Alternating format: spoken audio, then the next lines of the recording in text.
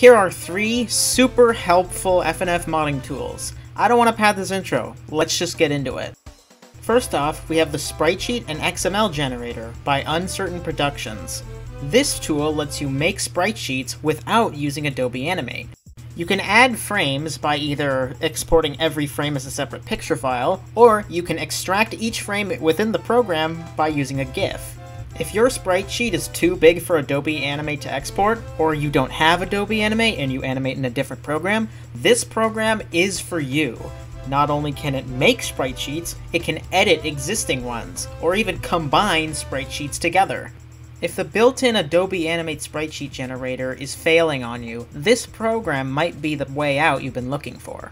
For example, I was able to pack every single frame of Fleetway Supersonic from Sonic.exe into one gigantic sheet, and the game reads it just fine. But what good are sprites if you don't have songs to use them on? This program can help with that. Chill Space's Chromatic Generator. Simply put all your audio files into one folder under the names 1, 2, 3, etc., and make sure they're all saved as a WAV file, and this chromatic generator will do the rest. Just press Generate Chromatic, and your chromatic scale will be generated within seconds, way faster than you could ever do in FL Studio or any other program.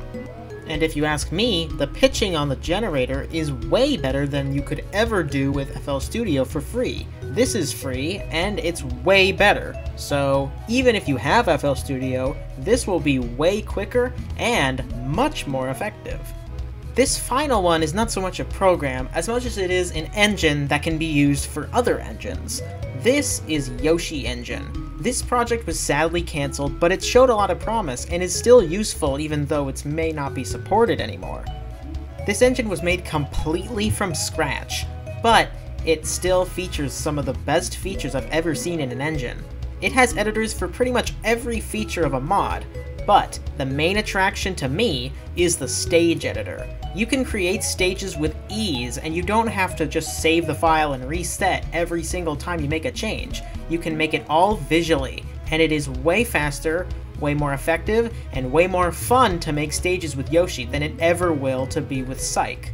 Estoy Aburrido on GameBanana made this amazing program which lets you convert Yoshi engine stages into Psych Engine.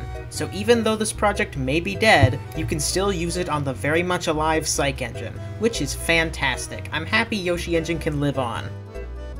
And there you have it, three super useful FNF modding tools. I'd be happy to talk more about FNF modding if that's what you guys want to see, and I hope you learned something from this video. Anyways, see you next time. Música